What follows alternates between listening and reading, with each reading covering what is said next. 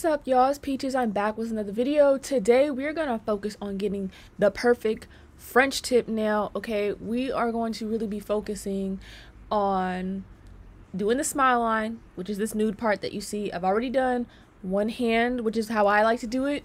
I like to do just one hand and then I'll go and do the other hand so that way everything is dry enough to do the white because if it's not dry, you're gonna have a lot of problems okay so for my first bead what I like to do is I don't work any wetter any drier than normal I just kind of set it where the natural nail and the nail tip kind of meet and I spread it out so that way I can basically fit the whole cuticle area side to side basically as you see because when I first started doing French it was really really hard for me to understand um how I don't know. It was just really hard to understand how to like make the shapes because I do everything with my brush. So it's hard for me to like understand how to do this cuticle area and make the shape without making the actual cuticle area super duper bulky because I was very scared that the nail will break. Um, so this is basically what I do. So I go ahead and I lay the first bead down and make the approximate shape that I think it is and I continue to compare it to the hand that's already done because when I'm first working on the first hand, I compare each nail like to each other so that way that whole hand is like symmetrical.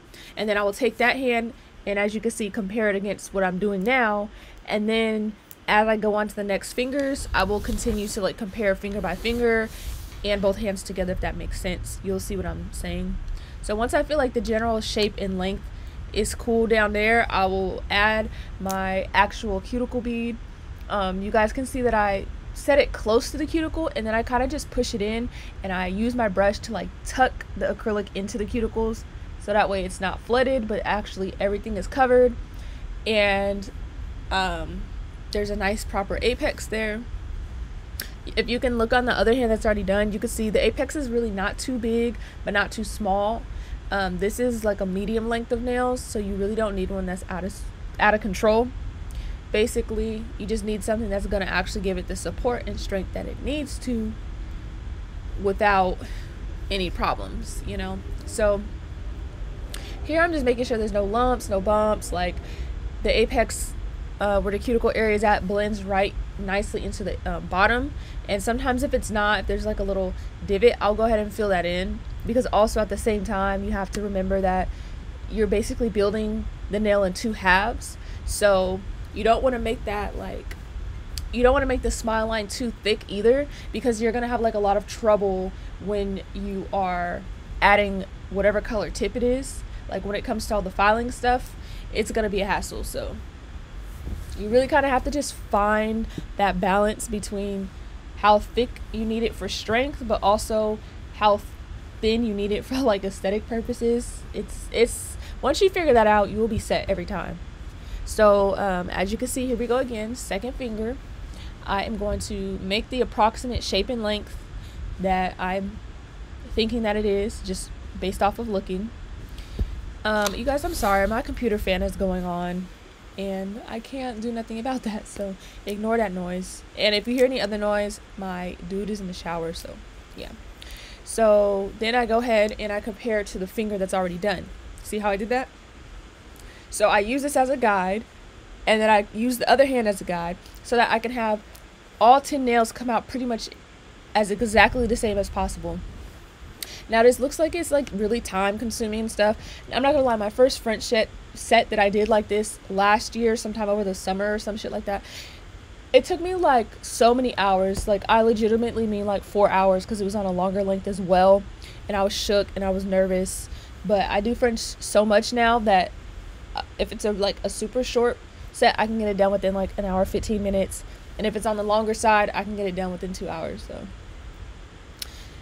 so just keep comparing. This is the best way that I can say how to get like the perfect smile line. Okay. Um, you'll also keep in mind that sometimes there might be one finger that started out like, oh, okay, I like that shape, but then you realize you made all the other fingers a different shape or they're slightly off, you can just go in and fix that one finger with acrylic.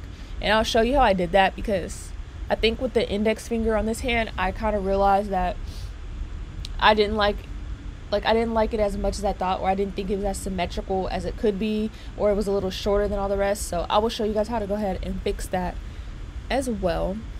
And here we are again, you guys. When it comes to the cuticle area, do not overload it with acrylic because you want like you want French tip to look supernatural. Like of course you want all your sets to look supernatural, like it's just growing fabulously from somebody cuticles, but I feel like French tip is supposed to look like extra supernatural because I mean it's French tip, like come on.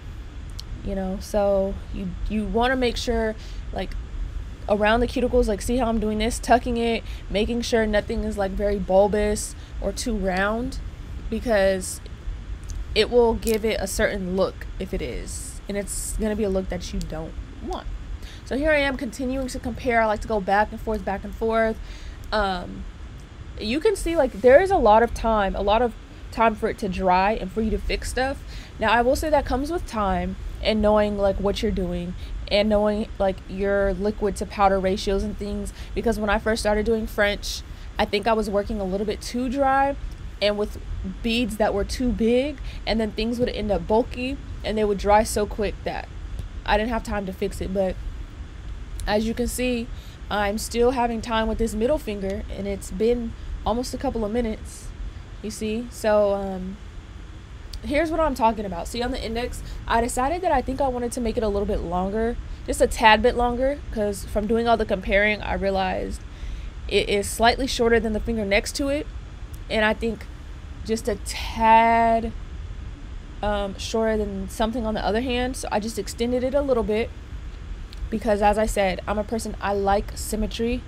Like I need everything to look it, as symmetrical and perfect as possible. So this is like my routine, basically, so that way I can have that result. I don't have to do this too often. Normally, like I get it right pretty much. Um, just because I do it so often, but every now and then, like you know, depending if you and the client are talking or if you know you're tired, just different different factors, you'll have to go in and maybe like just fix one finger, and that's fine, okay. So, um, another tip to like doing French is leave yourself room on the sides. Like, okay, you see how my smile line has like room on the sides basically. You need to like give yourself a decent amount of room on the sides so that way when you add the white when you file you're not going to file it to look like there's nothing on the sides. Like i don't know how to explain it but if you've seen people that do french and it's like how do you explain it? Like you can't see the white coming up on the sides. It's really just on the very tip basically. I don't prefer that look um, every so often, depending on the person's like finger shape or the shape of the French smile line that goes with their finger, it can happen. It's not like impossible for it to happen or whatever, but I just don't prefer that. So for me personally, I like to assess the person's nail beds and then and their length. Sometimes I make a French that's like way more oval, sometimes something that's a little more circular, but um yeah, just so that way you can see the white on the sides. There's just so many different things you can do with French to help you figure out your style. Okay. And yes, I sped the rest of it up for this part because I feel like you've seen you've seen it in such detail up to this point that I feel like you guys could be able to like understand and see what I'm doing at this point. But yeah, so you just please keep in mind the people, the people's, the person's, the client's finger shape, the length of the nails, the width of the nail beds, all that because a lot of times what I've noticed is like the thing that happens the most of why French doesn't look as nice as it could is a lot of times it's just too bulky. Like like plain and simple. It's just too bulky. Like I said, I've been there. We've all been there. It does take time to learn how to debulk your French and make it look very natural and not so like wide around the cuticle area. But um yeah, I hope this guy's oh yeah, I cannot talk. I'm sorry, I'm not ate today and I'm just kinda all over the place. So I hope this helps you guys learn something about how to get um, a really nice French. So I'm basically gonna let you guys um, finish watching me do the pinky and the thumb. And then I will come back when I'm actually filing the smile line because that's where you're gonna really if if you're struggling with this part and it's you're really really not able to get a really crisp french line with just your brush then the filing which is the next step is gonna really help you with that so i will be right back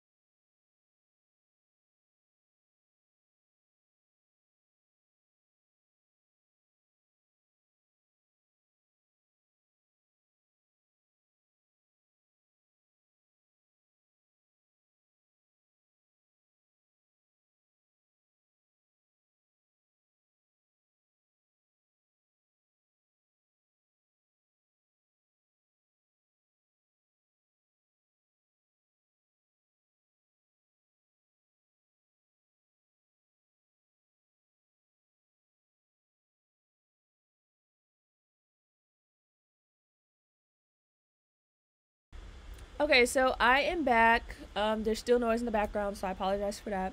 But now this part with the smile line, what you will need to do is take your file, your nail file, and just gently go around. I know it looks like it's kind of rough and stuff, but it is kind of an awkward angle to do because the nail tip is right there. So be gentle because you can cut through the nail tip and it will cause a hole and stuff and i mean nothing's gonna happen from it but it just increases the chance of like bending and shit before you're even ready to like you know do certain stuff whatever. So uh, yeah just be gentle. This is gonna really really help you crispen up your smile line if something about it is like weird or whatever. And then after i'm trying to think. Oh yeah i'm sorry. I, I sped it up. I forgot. So uh yeah and i still compare because my whole thing is my theory is when you compare everything so much, it's gonna give you like such a nicer result than if you just kind of guesstimate. And I feel like a lot of people do guesstimate, which there's nothing wrong with.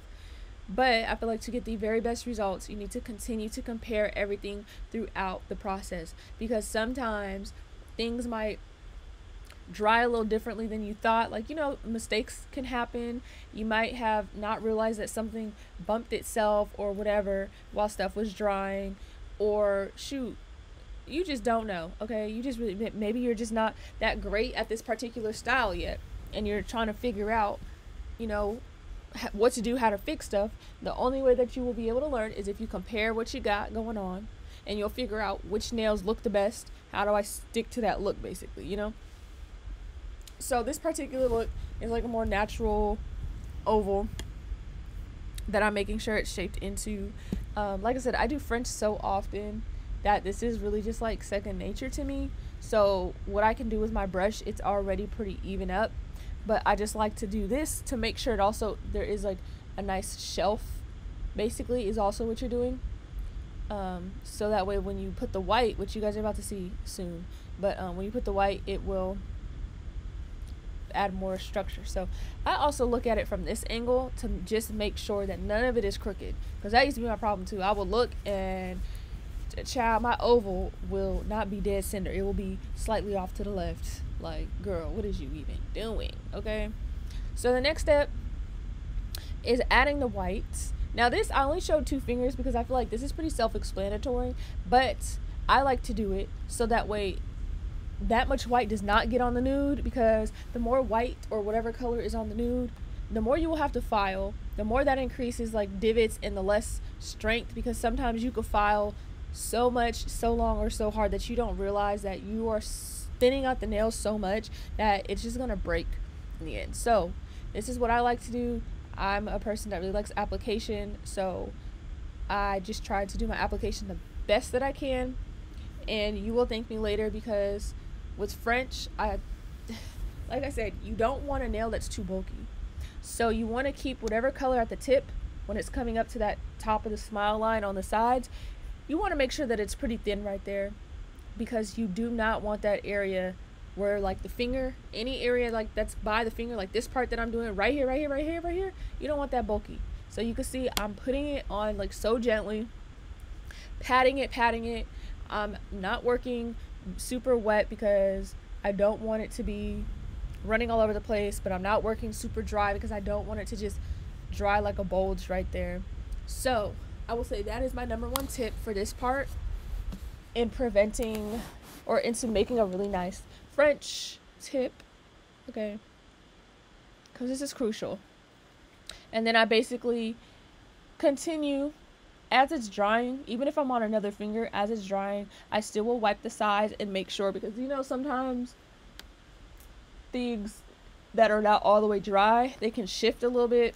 We don't want no shifting. I want that thing to look crisp if possible. So, um, yeah, you can see from the side that I'm just it's really not that thick, you guys. I don't know how to explain it.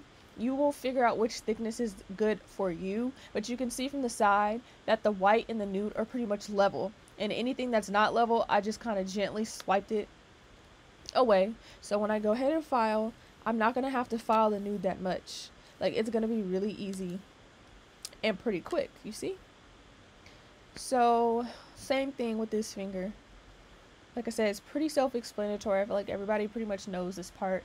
And I think the part that's hard about it is making sure it does does not get bulky by the sides of the fingertips.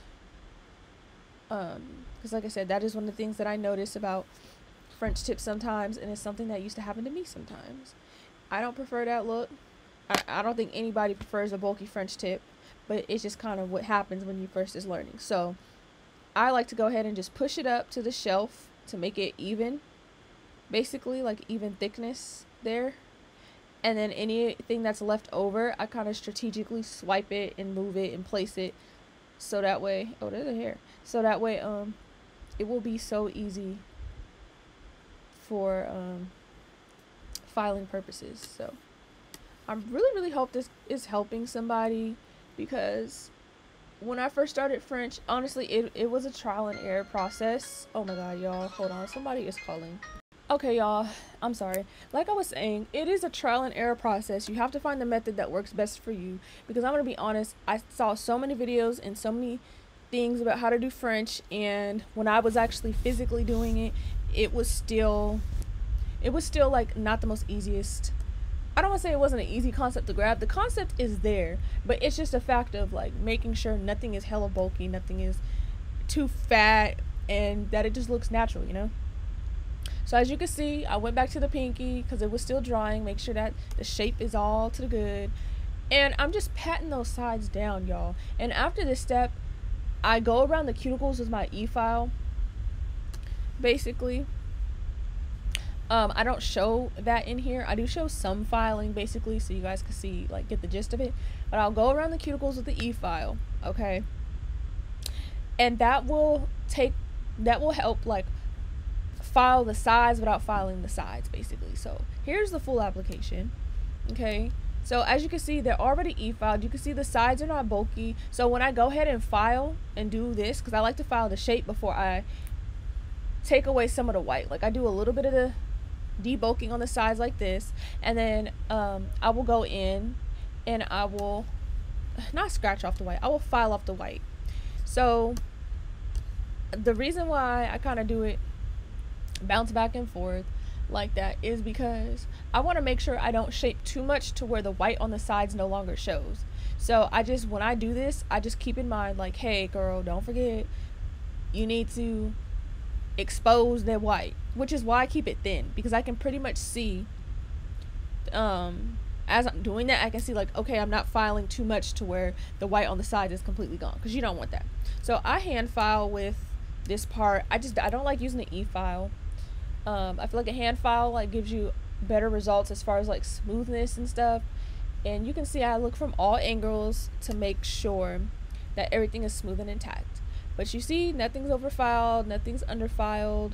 It's giving a very, very nice, nice crisp French and yeah this is pretty much my routine on what I do so you can see like you can see the the white where I'm filing. You can still see the white on the sides but it's not all the way gone basically. Because you don't want to you don't want to get rid of the white on the sides. It just kind of takes away you know. So we're on to the next. We're gonna basically do the next thing. And you see how easy the white came off? Because y'all when you just basically take the excess, you know, you level it out, level the white out with the nude, and then the excess you just kind of like feather away, it makes it so easy because then there's not like a really thick block of white. And it will make it so much easier for you to file away the color that's on top of the nude. Okay. You see this? Look at this. Come on now. It will make your arm hurt less. It's a lot less work It's easier so yes this is pretty much it um, I pretty much only show these two fingers of filing because I mean you guys you guys get it. I don't y'all honestly this video was older so this is kind of I have a bunch of French tip pictures and videos and stuff. I don't know which one goes exactly for the finished product of this because this was a while ago. But I do have like the finished product without gloss. So that's what I'm getting ready to show you guys. Oh, you guys already saw it in the beginning, but please don't forget to comment, like, subscribe. I hope you guys enjoyed this video and I hope it was helpful for you guys. Please stay tuned for the next video. Have a good rest of your evening, night, day, whenever you is watching. And I'm going to catch y'all in the next video.